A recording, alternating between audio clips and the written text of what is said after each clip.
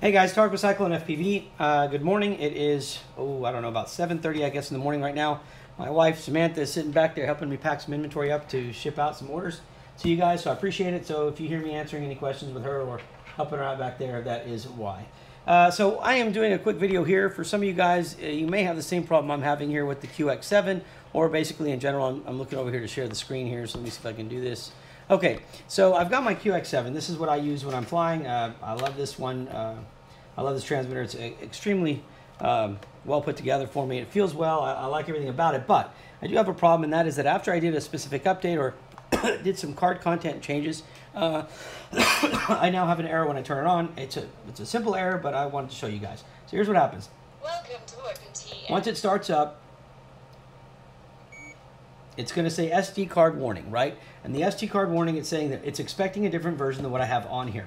And that is because I did a firmware change to test something out earlier, and so now I'm stuck. So I'm just going to go through how to fix this real quick, and I'm actually going to update it. So if you have a QX7, I've done a lot of videos on them, but this is going to be one, uh, I guess a newer updated one, kind of quick though, so it's not for somebody who's just starting out, but uh, it will it will help you if you kind of find yourself in this position. So to get past the screen, I'm just going to hit exit and I've got everything here that I need. So now I'm going to go ahead and turn it off, and I need to get this into DFU mode. So normally what we'll do is we'll just hold the trims in, press the power button real quick. We'll get here, and we're going to go ahead and plug in our, make sure, oops, wrong cable, make sure I get the right cable here. And we're going to plug in our USB, which is right there. Okay, and with that, I'm going to now pop up on the, to the um, uh, to the computer screen here and we're going to go ahead and launch OpenTX. All right. Okay.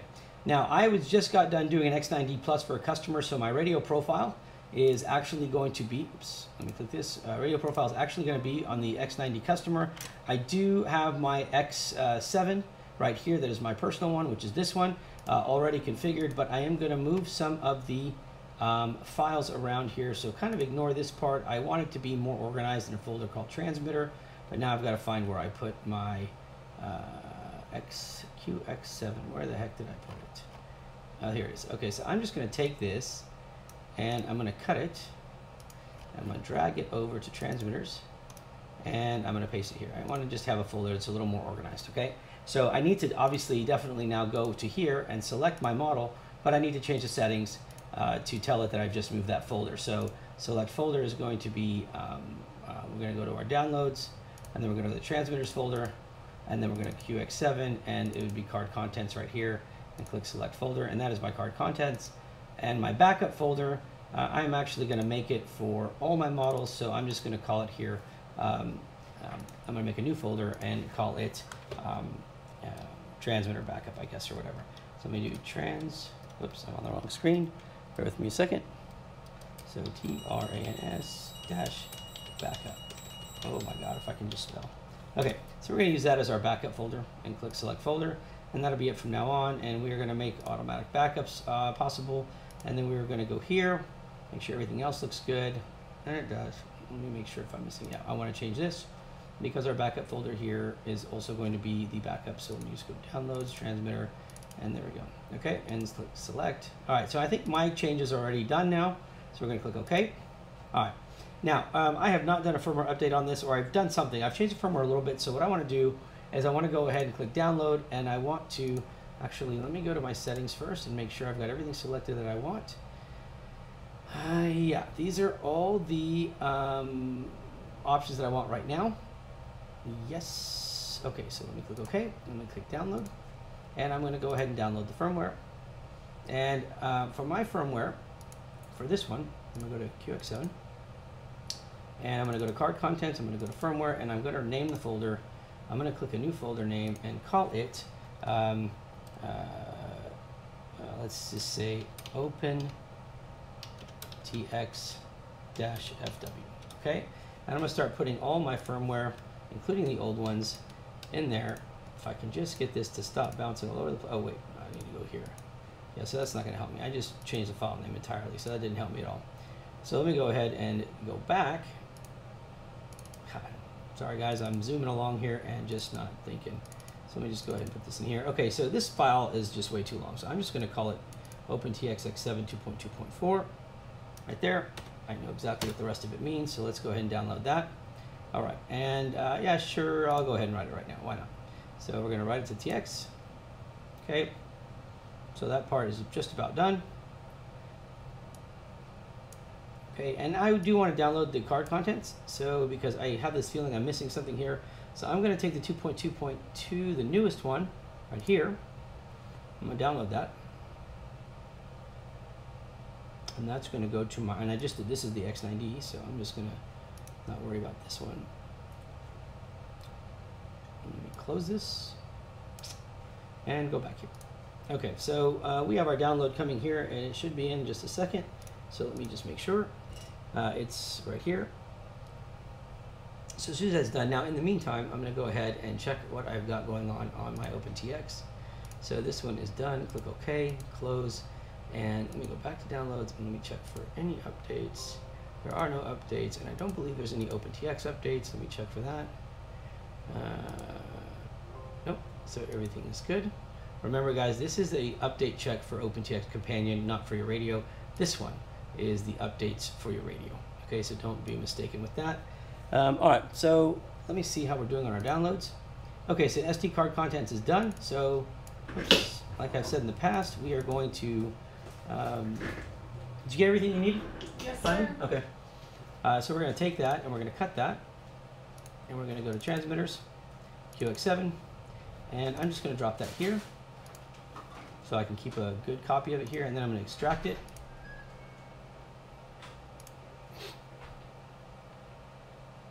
And then we're going to do the same thing like getting rid of the files that we don't want. So um, I guess the main thing here is there's, you know, there are steps to do, and I've, I've said this in my videos, and I know I ramble a lot, but in other case, there's steps that I follow when I'm doing this, and it keeps everything consistent, right? Folder um, organizing and so forth. Um, and so uh, this is one of the steps. Now, if you don't stay organized like this, that's your choice, but there are going to be chances where you've got the wrong file, or you don't know which version you've got, or you can't remember where you put it. Whatever the case may be, it just make it easier. Just stay organized and file uh, uh, file uh, your files in folders that are organized properly, if you'd like. If not, good luck. Okay, we're almost done extracting this, and then we're going to go ahead and delete the stuff here. So you will see this here in just a second. So let's do this. Bam. All right. So we're almost there. Come on already.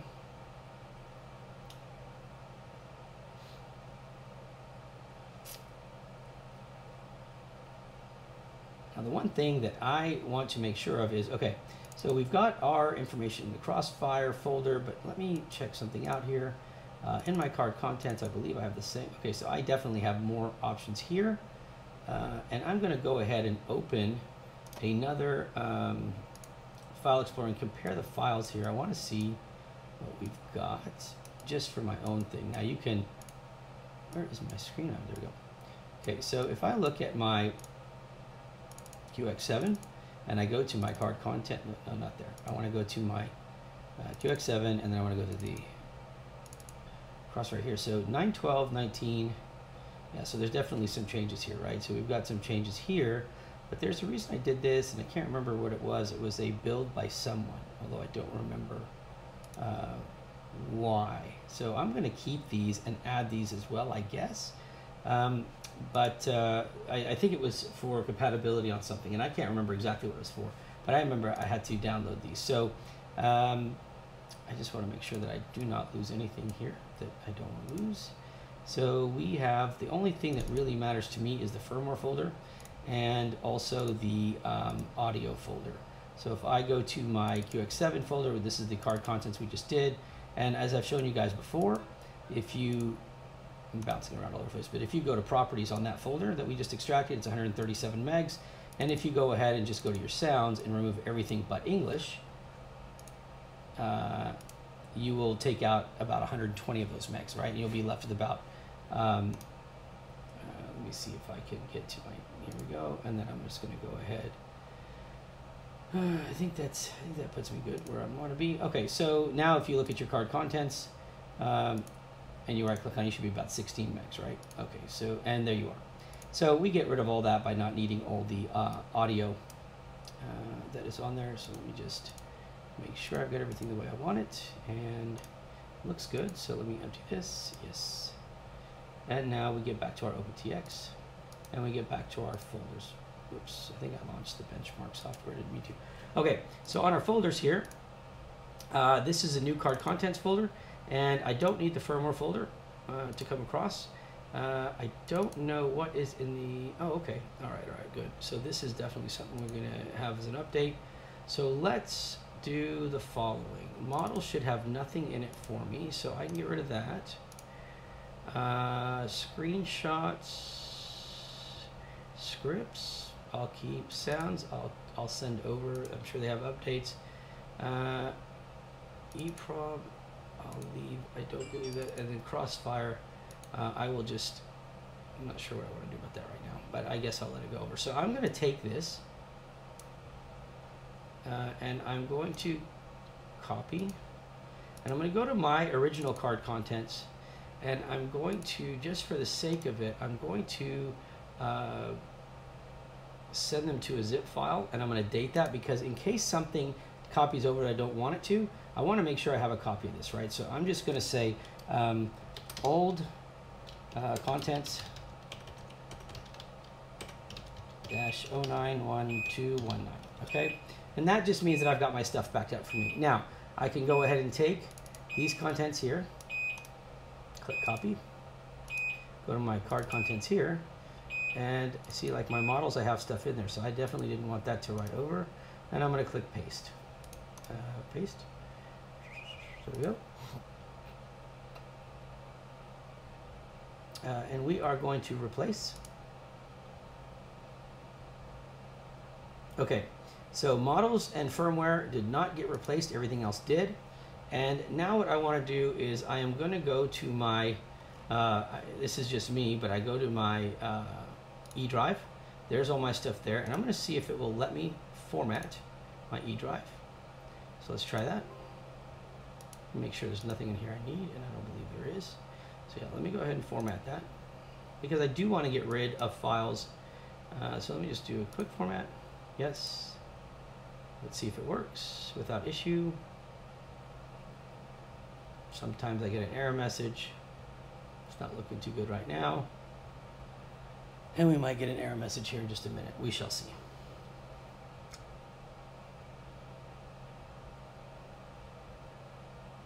And we're patiently waiting. And we're waiting. Not so much of a quick format happening, so I assume we're going to end up with our error message here shortly. Uh, and what I end up doing is taking the card out and putting it in the computer, so sorry about that. It will take me just a minute to do that. Two minutes, minutes. Um, okay, so hmm, I'll click cancel. See if we can uh, get that to stop.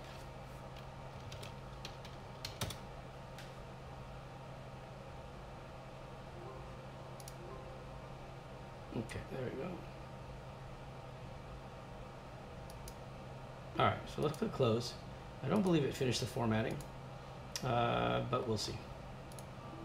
Yeah, there you go, wonderful. So uh, we are going to, I am going to now eject this uh, disk here.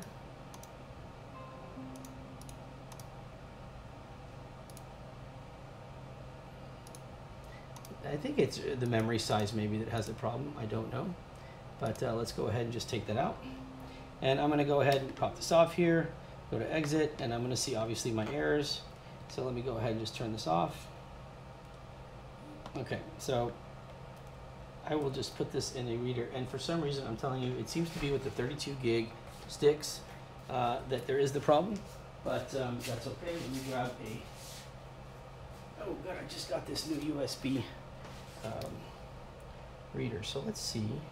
how, let's see if it works well. Okay, so I'm going to put this here. Bear with me a second. We will go ahead and plug this in. Okay, and we will format the card now. Oh yes, of course, we want to format it. So there we go. And let's just say start. Okay. There we go, format is complete. Close, and now I will eject this one. Okay, this is a great little tool. I got it off Amazon. I love it already. First time to use it, and it has come in handy. And I just opened it this morning. me go ahead and put my memory card back in. And then we'll go ahead, get back into our DFU here. Oops, sorry, used to working on the X9D this morning. All right, so let's do that. And then we will now go back to our OpenTX.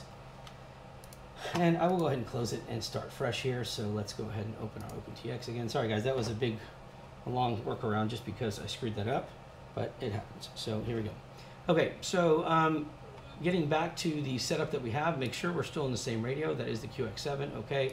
And now what I wanna do is I wanna go ahead and write, and you're gonna see again where it says uh, no SD card detected because it is formatted, so we have to go tell it ourselves where it is, and that's gonna be right here.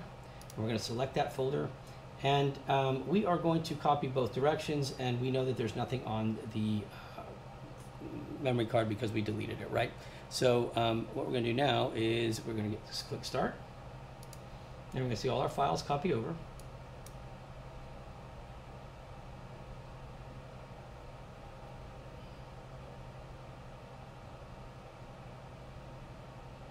We shouldn't have any errors, but we want to watch the details here real quick. And I need to find my coffee, so one second.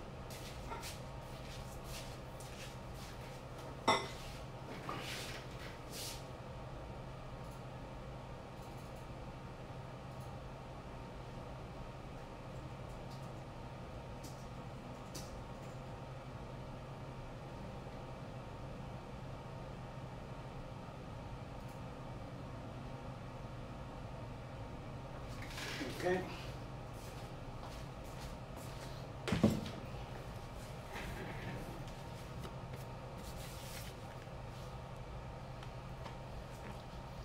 Almost there.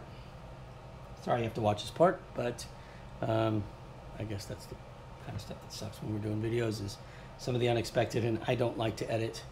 Matter of fact, I'm gonna be honest with you here. We'll just sit here a second.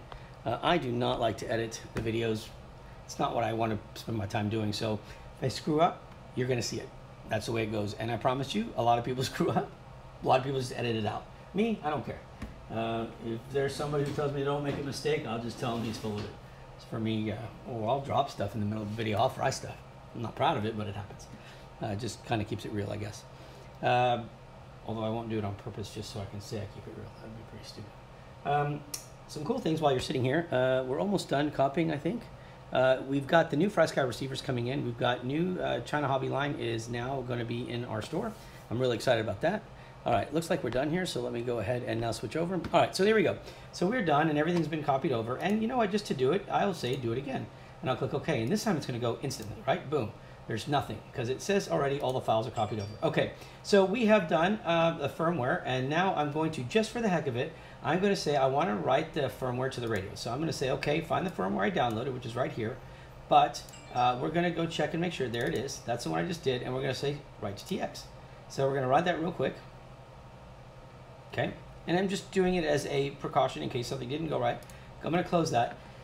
And now I'm also going to back up. Um, I want to back up my radio. So I'm going to back this up here and I'm going to put it in, uh, this is, mm, I'm going to put it in my backup folder downloads, transmitters, uh, backup. And this is going to be, I'm going to title this QX7, uh, QX7 dash 091219 uh, dash. Okay, and click save. Right, let it go ahead and pull the models and settings, and there it is. And I think, I don't think there's anything else. I think the rest of this I'll do on my own time. Whoops.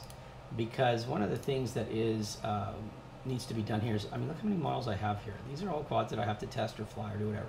And I need to, this is a Rush FPV test, this is another one. So I need to organize these, but I'll do that later.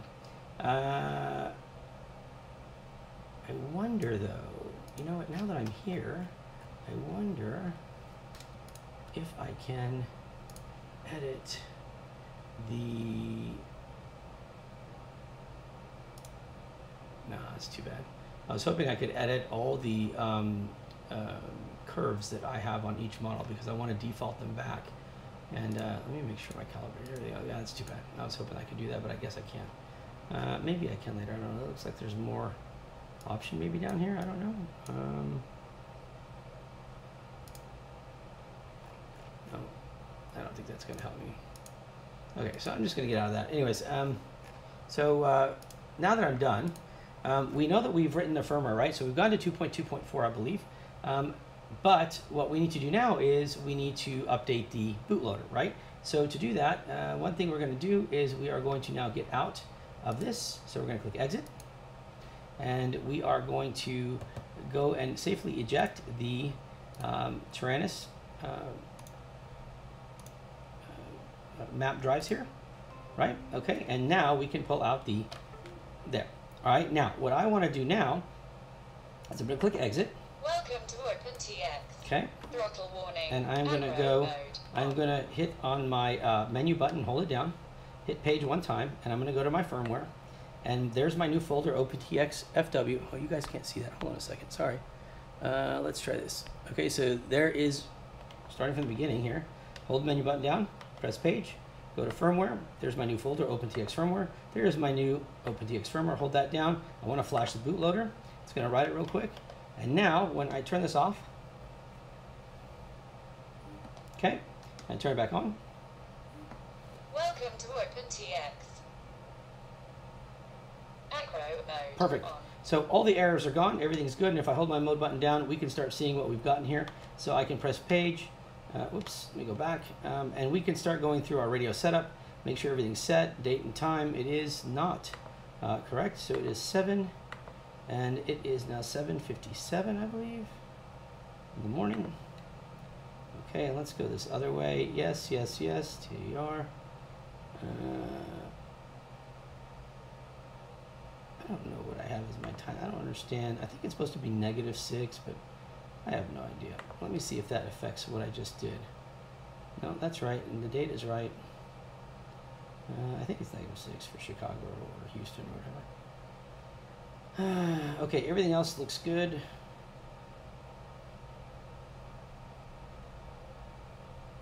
Okay, so usually what I do after I do a firmware is I go to my calibration, so I hold menu button down, and actually you can hold the page button down and go backwards because I think it's a, there you go. So I'm going to set everything to the center, or at least what I think is center, and I'm going to go ahead and knock out my calibration real quick. All right, so let's put these in the center. Okay, and I'm going to hit enter to start, and set sticks to the midpoints. Uh, okay, and then we're going to go ahead and move them straight up, straight down, left, right, straight up, straight down, left, right, and then corner, corner, corner, corner, corner, corner, corner, corner. Just, you know, do whatever you want to do here. It knows its limitations, and then turn, turn, and set them back, and hit enter. All right, so now my stuff looks centered, everything looks good. It looks like we're good to go, guys. So um, error is gone now. I, I know that was a 23 minute video on a waste of time because half of it was formatting the card, but that is done. Everything looks good. If you have any questions, hit me up. Uh, please make sure to subscribe to our channel at uh, Cyclone FPV. Uh, did you find your phone? It's binging in the middle of all this. No, sorry. Oh, it just it's somewhere there. Looks like I'll Um, get it. I- okay, and then uh, make sure to like or follow or whatever you do right there. Okay, and then if you have any questions, hit me up uh, at uh. If you post any comments to the video, I do try to get them, but it's hard for me to figure out how all that works to respond to the comments and make sure I did it. So if I missed it, please just write me or do whatever you. Uh, anyways, God bless. Safe flying, guys. If you have any questions, hit me up. If not, we'll see you soon. Bye.